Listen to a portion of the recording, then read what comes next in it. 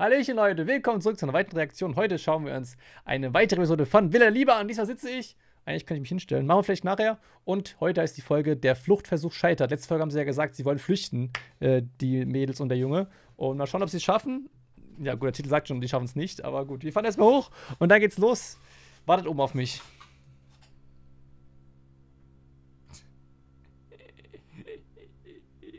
Bester Anfang, Alter. Okay. Gut. Dann schauen wir uns mal an. Ich bin wieder bestens vorbereitet hier für das Video. Ne? Das ist, das ist natürlich, man kennt mich wieder hier. Das ist, glaube ich, letztes Mal auch so gewesen. Let's go. Moonvibe, Creative New Media. Wir müssen heute Nacht versuchen, irgendwie zu fliegen. Genau. Ja, auf jeden Fall. Kommst Ja, du? auf jeden Fall. Ich such meine Freundin. Becker. Die hat eine Affäre, die geht dir gerade fremd. Es geht hier nicht nur um Liebe. Es geht auch um die Karriere. Deine Karriere. Ich mache nicht alles für Fame. Ich bin nicht eins deiner achtjährigen Fangirls. Ich habe einen gewissen Typen, wo ich so drauf stehe. Und du bist es nicht. Du gehörst da leider Nicht nicht. dazu. Also. Oh, die Szene. Hä, ja, aber hä? Wie hat sich denn überhaupt da so hingestellt, so nackt und ihn reingelotst? Das hat sie denn vorgehabt. Das fand ich mich auch, finde ich auch voll komisch. Was war denn ihr Plan? Das sehen wir jetzt auch heute, ja.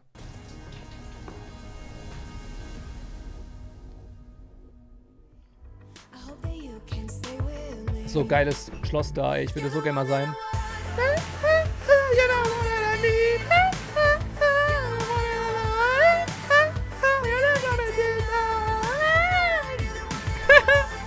Ich liebe das Intro.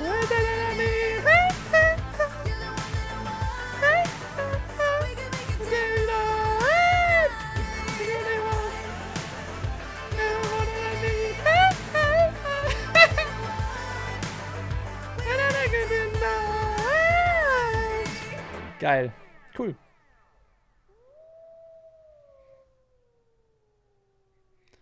Aschan, die sagt der mit den Sackhaaren, ne? okay. Mein Messer. Ihr Messer? Warum hast du das in die Kamera gesagt? So, was? Was hat die Messer da gebunkert? Achso, weil sie Angst hatte. Und jetzt steht sie da, er wacht auf und wie sie das Messer in der Hand hat. Oh, ist sie auch dumm und da Chips? Warum da Chips? Was liegt denn da noch alles? WTF, Alter? Was sagt denn da? Lag da eine Glocke gerade? Was war das zweite? Eine Glocke! ja! Ja, genau! Eine Glocke! Chips und eine Glocke! Perfekt einfach. Lege ich auch mal so auf den Boden, stell mal dann drüber. So eine Tröte noch? Und vielleicht machst du jetzt Puh und dann wird der Wacht da durch oder so.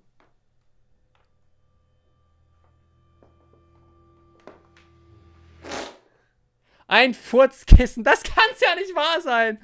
Ein Furzkissen. Es ist so, es ist so weird. Wirklich, was macht sie mit dem Tier jetzt? Hey, warum hat sie nicht auf ihn geworfen? Hey, warum?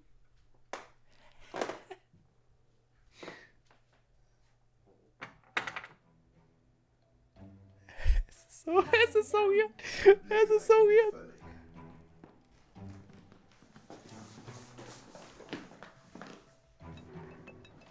Ja, er hebt das Bett mit einer Hand hoch. Das ein-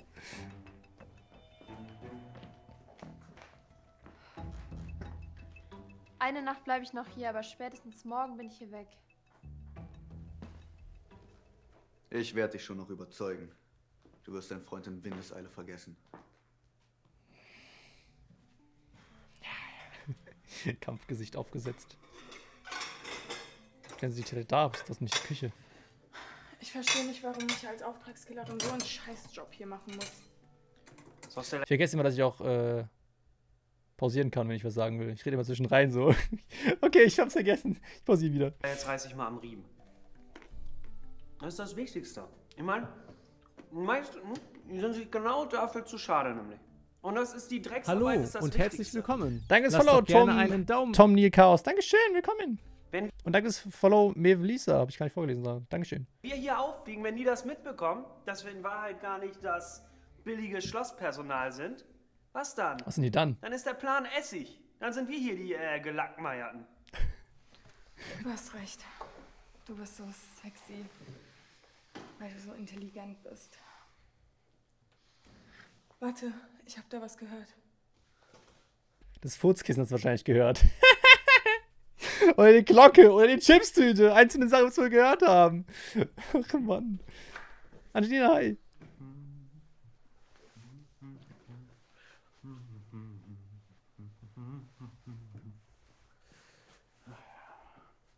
Hm?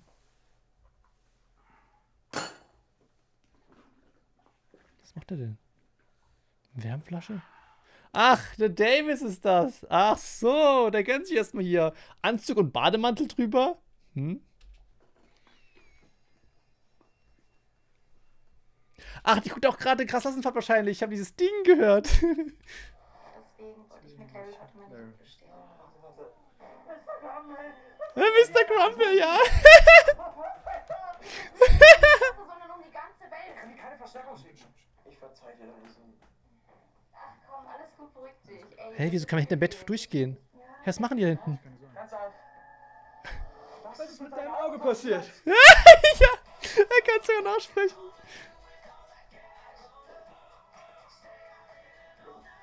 Warum ist da die erstmal drüber gelaufen? Hä? Und warum muss die jetzt da einmal da hinten durch?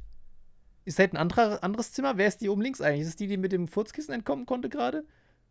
Es ist so komisch. Ich habe so viele Fragen. Immer 19 Uhr, Khaled. Immer 19 Uhr.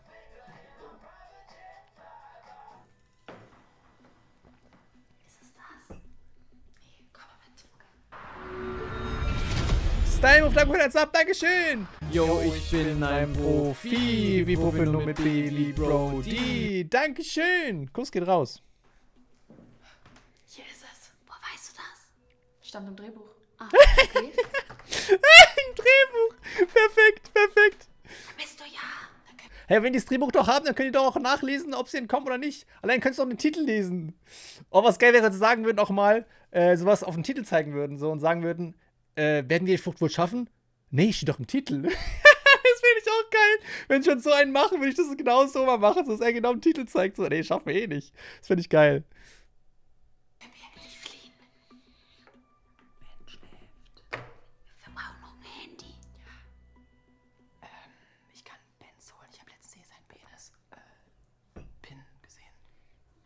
Ah ja. Penis und Pin sehr nah beieinander. Ich habe eben seinen Penis-Pin gesehen. Alles klar. Hast du es gehört? Wir müssen uns verstecken. Ja, aber wieso brauchen die jetzt genau ein Handy? Also wenn, wenn, wenn, wenn, äh, ich habe den Namen vergessen, äh, ich weiß nicht, dass er 24 Tim heißt, aber wenn er ähm, doch das Handy von ihm klauen könnte, könnte er darüber doch einfach dann die Polizei kontaktieren, oder nicht? Dann müssten die ja eigentlich gar nicht fliehen. Dann könnten die sagen, hey, wir sind hier gefangen, kommen Sie bitte hier uns helfen. Notfall, bla bla bla. Dann würden die ja kommen und die befreien. Dann müssten sie ja gar nicht fliehen. Wenn sie jetzt fliehen wollen, dann brauchen sie auch kein Handy. Oder wollen sie fliehen und dann mit dem Handy Hilfe rufen? Hey, dann müssen sie ja nach draußen warten, bis die Hilfe kommt. Das ist ja auch blöd. Die könnten, hey, das ist ey, ko- komisch.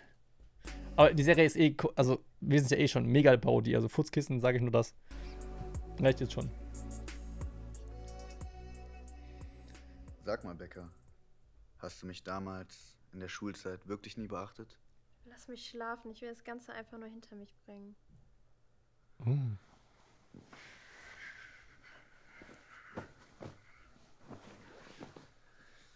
Er sieht's ja auch nicht, ne? Lennart ist schon lange mein Freund.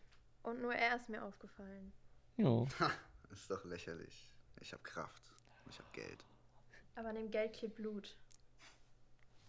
Was, Blut? An seinem Geld klebt Blut. Was hat er denn für ein Business aufgemacht? Weiß ich gar nicht mehr. Hat er nicht einflussreiche Familie gesagt? Mafia? Nee, was hat er in der letzten Folge gesagt? Vorletzte Folge? Wieso klebt der Blut dran jetzt? Aber verliert es deshalb an Wert? Wie sie so hochbiegt und sie direkt runterguckt. Alles klar. Nein, was? Oh. Ich liebe Frauen mit einer kräftigen Stimme. Geil. Hat er jetzt gerade fick dich gesagt? oh Mann. Warum braucht Was fand ich wäre, wenn es sich Unge, wenn Unge auch hier dabei wäre, so als reiche, einflussreiche Person, so. ich spiele da auch mit. So eine kurze Nebenrolle, gut, der wohnt da zu weit weg. Für. du es denn so lange? Das ist echt Aber Davis macht's auch gut.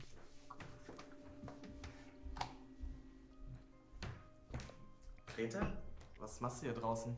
Ich hol mir ein Wasser. Nio hat mir das erlaubt. Wasser? Ihr habt doch ein Badezimmer. Ja, ich trinke nur Sprudelwasser. Als ob er die hinten dran nicht Das sieht. kommt ja nicht aus der Leitung. Ja, okay, stimmt. Äh, hast du Janine gesehen? Janine, Janine? mm, die liegt in dem Hä? Ach so, Dahlia heißt ja in echt Dahlia und die Rolle heißt ja Janine wahrscheinlich, okay. Und er sieht sie nicht hinter ihr stehen? Also ich glaube nicht, dass die so breit ist, dass man sich hinter ihr gut verstecken kann. Just saying. Vor allem fühlt sie man ja auch. Ach Mann. Zimmer. Da ist äh, das Bett weicher. Da drin? Mhm. Cool, danke.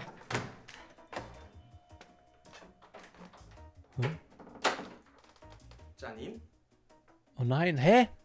Warum haben sie jetzt da reingelockt, wenn auch Tim drin ist? Hä? Was? Warum, machen die das? So richtig undurchdacht die ganze Zeit. Oh Mann, Leute. Äh, für alle, die die Geschichte die nicht checken, die gerade auf Twitch noch reingeschaltet sind. Äh, es geht darum, dass äh, vier einflussreiche äh, Typen haben äh, äh, vier, vier Personen entführt, die sie gerne für sich behalten würden. Die, die wollen, dass sie sich in sie verlieben. Das heißt quasi entführt, dass die jetzt 365 Tage bei dem bleiben und in diesen, diesen Tagen währenddessen in sie verknallen. Aber die vier Personen, die jetzt, die jetzt da gezwungenermaßen da sind und mit anderen zusammen sein müssen, zusammenkommen müssen, äh, die wollen jetzt fliehen die Nacht. Das ist äh, jetzt, das, die wollen fliehen. Und er ist einer von denen, die fliehen wollen. Und er ist einer von den Leuten, die Leute entführt haben. Er im Bett auch, ja. Hier liegst du also. Nein, das ist nicht zu ihm. Luis, da gehst du ja ganz schön ran. Oh, Alex, was machst du? Oh nein, och nee, weil die Mädels ja rennt. Hä, so dumm. Die machen doch gar bewegen sich gar nicht. Die liegen da jetzt einfach rum oder was?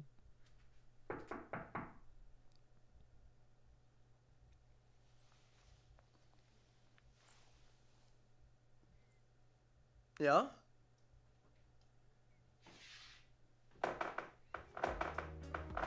Hörst du sie rein? Kamen die lauten Geräusche von hier? Ah, sie hat wirklich das Furzkissen gehört. Lol, das hat sie wahrscheinlich doch gehört. Hier war es eigentlich immer mucksmäuschenstill. Sie ist übrigens die Bedienstete. Sie hat nichts mit der ganzen Sache zu tun. Die kümmert sich nur darum, dass es jedem in dem Hotel, in diesem Schloss gut geht. Und er ist einer, auch ein- er ist von, also er, der Typ hier, der Alessio, der früher Alessio war, der ist einer von den Leuten auch, die, ähm, die entführen. Wo ist Greta? Die ist bestimmt nur auf Toilette. Echt oder gekauft? Ist schon echt. Um was Obwohl, das Geld hätte ich auf jeden Fall für einen schönen Muskeln? Eisstock. Ich verstehe nicht, warum du eine Kantinenputze datest, wenn du Ah, sie meint wirklich die Muskeln oder was, ob die fake sind? Kann man sowas faken? Also ich kenne doch diesen einen Typen, der irgendwie sich Öl in die Oberarme pumpt oder so und dann sieht das so richtig hässlich aus, aber so Brust, so Oberarme faken sieht doch nie gut aus, wenn man das faked, oder? Keine Ahnung. Weiß nicht. auf Frauen ich auch. Nein. Spaß. Weißt du, Mäuschen? Frauen mit Qualitäten kommen nicht um Mitternacht hier rein, weil sie das Geld aus meinem Arsch riechen. Bäh. Einer hat Blutgeld, er hat Scheißgeld oder was? Sorry, ey.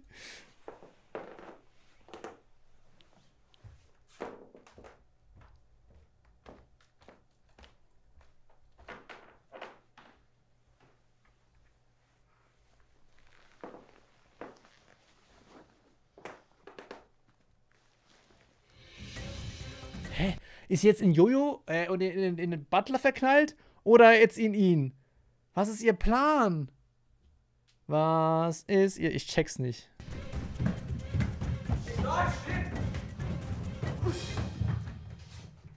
Oh.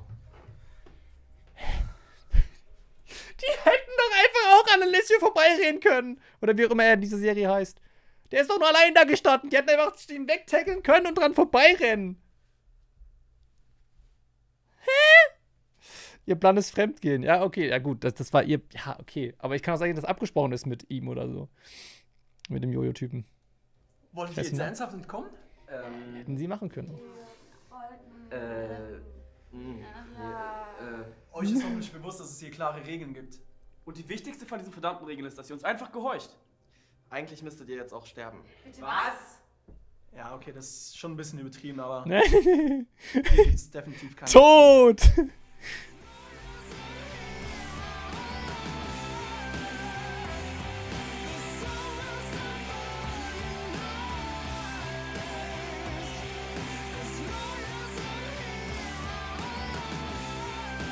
direkt wieder mitgenommen.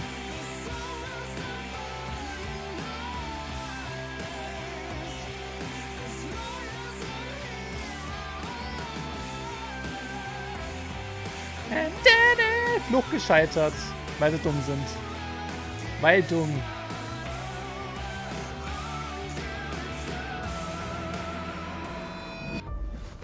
Das war's jetzt, okay. Aber ja, Flucht ist gescheitert, ne? Also, aber die Folge, die war wieder richtig wild. die war echt wieder viel zu wild. Ihr müsst eigentlich sterben. Und diese Furzkissen, ey. Ich liebe das eigentlich. Ich finde die Serie voll geil. Weiß nicht, ich finde sie sogar fast besser noch als krass Klassenfahrt, muss ich sagen. Es hat das ist so richtig, so richtig auf dumm gemacht irgendwie. Ich weiß nicht, aber feier ich. die ist weniger cringe, mehr so richtig extra dumm gemacht. Und das, also, aber auch, ich weiß nicht, ich feiere das irgendwie, weiß nicht. Finde ich fast, also momentan fast noch besser als Krass muss ich sagen. Finde ich, find ich auch wieder sau stark. Immer sau stark.